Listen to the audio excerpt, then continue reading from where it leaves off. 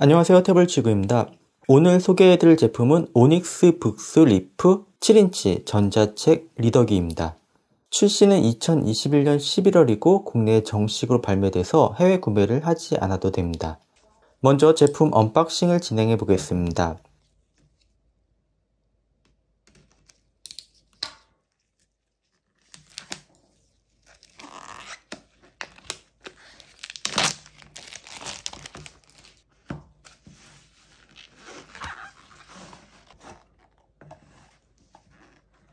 박스를 열면 ONYX BOOX Leaf 7인치 전자책 리더기가 보입니다.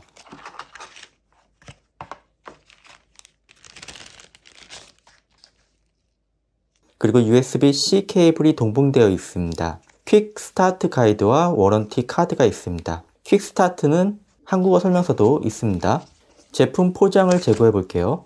디자인은 전에 소개해드린 ONYX BOOX Nova Air 7.8인치 제품과 비슷하게 silver gray 색입니다. 그리고 좌측에 손잡이 부분이 있어서 BOOX Note X 10인치 전자책 리더기와 디자인이 동일합니다. anti-glare 필름이 부착되어 있어서 빛 반사가 적다는 장점이 있습니다. 필름을 잘 붙이지도 못하는데 직접 붙이라고 동봉해주는 것보다 이렇게 부착되어 나오는 걸 선호합니다.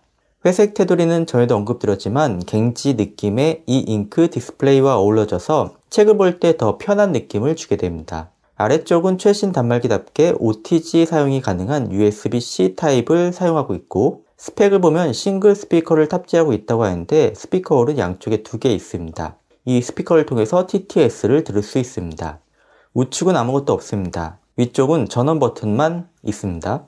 왼쪽에 있는 pogo pin은 Leaf 전용 버튼 케이스용입니다. 저는 구매하지는 않았는데요. 물리 버튼을 좋아하는 분들은 별도로 버튼 케이스를 구입하시면 물리 버튼을 이용해서 페이지를 넘길 수 있습니다. 후면은 KC 인증 마크가 부착되어 있고요. 스크래치와 지문을 견딜 수 있도록 코팅이 되었다고 합니다. Leaf는 2000mAh의 배터리를 탑재하고 있어서 무게는 170g이고 두께는 5.95mm로 얇습니다. 전원을 켜보겠습니다. CPU는 Qualcomm Snapdragon 636 1.8GHz octa-core CPU를 사용하고 2GB 램에 32GB 저장 용량을 가지고 있습니다. 태블릿 기준으로 보면 부족한 성능이고 전자책 리더기 기준으로 보면 적당한 성능입니다. 디스플레이는 7인치에 1680 곱하기 1264 300dpi E Ink Carta 탑재 제품입니다. 운영체제는 안드로이드 10을 사용하고 있습니다. 초기 세팅을 보여드릴게요.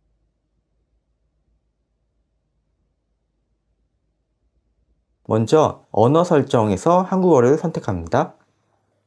개인정보 보호 정책에 동의를 누릅니다. 일자 및 시간 설정에서 time zone을 한국 표준시로 설정합니다. 전원에서 자동 sleep 전원 끄기를 지연하기에 대한 시간을 설정합니다. 이렇게 설치가 완료되었습니다. 오닉스 제품과 크레마 제품의 가장 큰 차이점은 구글 플레이 스토어 탑재 유무입니다. 크레마는 APK를 찾아서 설치를 해줘야 되지만 오닉스 제품은 구글 플레이 스토어에서 편하게 설치가 가능하죠. 대신에 유저가 직접 플레이 스토어를 활성해 줘야 되는 불편함이 있습니다. 처음 오닉스 제품을 접하는 분들은 이 부분을 가장 어려워하시는 것 같아요. 먼저 와이파이를 연결해 줘야 됩니다. 연결이 잘 되었는지 확인하기 위해서 네오 브라우저를 열어서 네이버에 접속해 보겠습니다. 페이지가 잘 나오네요. 인터넷이 정상적으로 연결이 되었습니다. 설정에서 어플리케이션을 선택합니다. 구글 앱 가동하기를 눌러주세요. GSF ID 메뉴가 새로 보이게 됩니다. 클릭해서 GSF ID를 생성해 줍니다. 구글 계정으로 로그인을 합니다.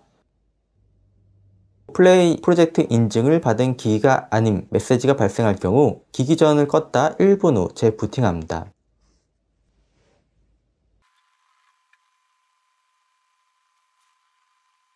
부팅이 완료되면 와이파이 연결이 되어 있는지 확인하고 설정 어플리케이션으로 이동합니다. 다시 GSF ID 메뉴를 선택해서 구글 계정으로 로그인합니다.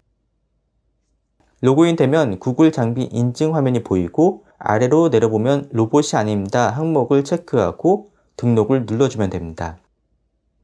뒤로 빠져나와서 구글 설정을 눌러주세요. 구글 계정에 로그인 버튼을 눌러서 다시 구글 계정으로 로그인합니다. 플레이 프로젝트 인증을 받은 기기가 아닌 메시지가 발생할 경우 기기 전원을 껐다 1분 후 재부팅합니다.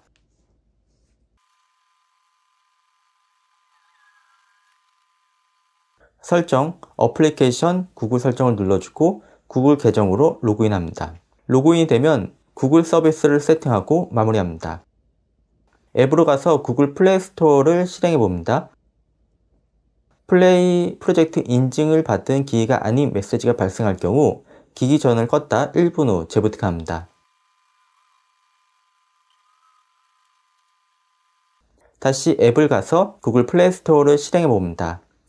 정상적으로 구글 플레이 스토어가 실행이 됩니다. 끝났습니다. 한글 키보드가 없어서 여기서 Gboard를 검색해서 설치를 해주세요.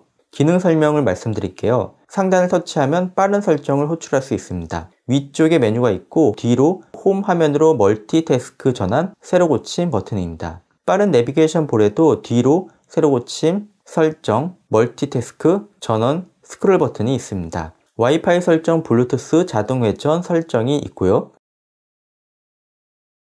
화면 전송 기능을 사용하면 전자책 리더기를 LCD 태블릿처럼 활용할 수 있습니다. 55인치 TV와 연결해서 사용해봤는데 전자책 특유의 속도가 느린 현상이 없어졌습니다. 화면 회전도 되기 때문에 세로 모드, 가로 모드 모두 사용이 가능해서 시원시원하게 대화면으로 인터넷도 가능합니다.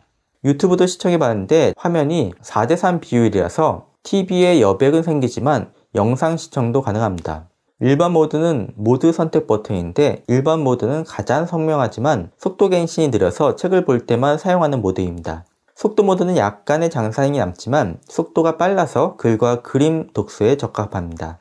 A2 모드는 많은 잔상이 생겨서 폰트의 선명도가 떨어지지만 이미지나 텍스트 외에도 웹서핑에도 많이 사용되는 모드입니다. X 모드는 흑백 모드로 바꿔서 화면 갱신 속도를 최대로 올리는 방법입니다. web browsing 또는 동영상에 사용되지만 A2 모드보다 선명도가 더 떨어져서 책을 볼 때는 사용하지 않습니다. 제가 유튜브 영상으로 비교해드리면 지금 흑백으로 보이는 영상이 X 모드입니다. 어차피 E Ink 단말기는 흑백이기 때문에 이렇게 극단적으로 흑백으로 변경해서 속도를 올리는 방법이 가능하게 되는 거죠. X 모드를 일반 모드로 변경하면 컬러로 돌아오게 됩니다. 제가 일반 모드로 변경을 했지만 실제로 유튜브는 A2 모드로 동작을 하고 있습니다. 우선순위가 개별 옵션이 먼저 동작을 하고 그 다음에 전체 옵션이 동작되기 때문입니다. 유튜브 앱을 누르고 있으면 팝업 옵션이 나오는데 최적화를 선택해서 일반 모드로 변경해 보겠습니다.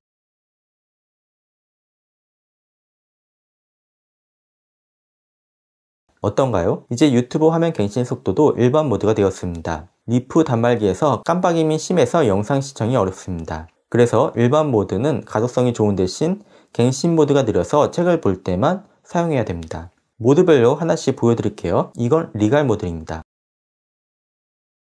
그리고 속도 모드로 변경했습니다.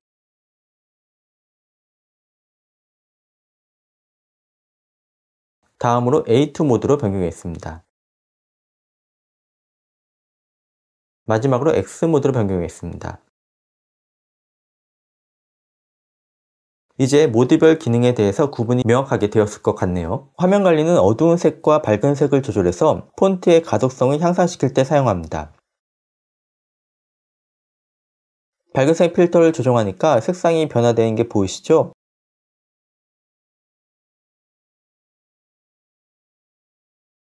어두운 색상 향상도 조절하면 글자의 선명도가 변경되는 게 보이실 거예요. 기본 설정 복구 버튼을 눌러서 재설정도 가능합니다. 화면 저장은 지금 보는 화면의 내용을 그대로 녹화할 때 사용합니다. 그리고 위치 비활성화가 있고 수정 버튼은 숨겨져 있는 타일을 추가하거나 제외할 때 사용합니다.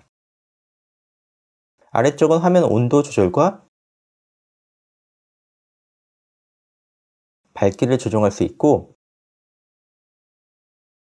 왼쪽의 자물쇠를 누르면 동시에 조절할 수도 있습니다.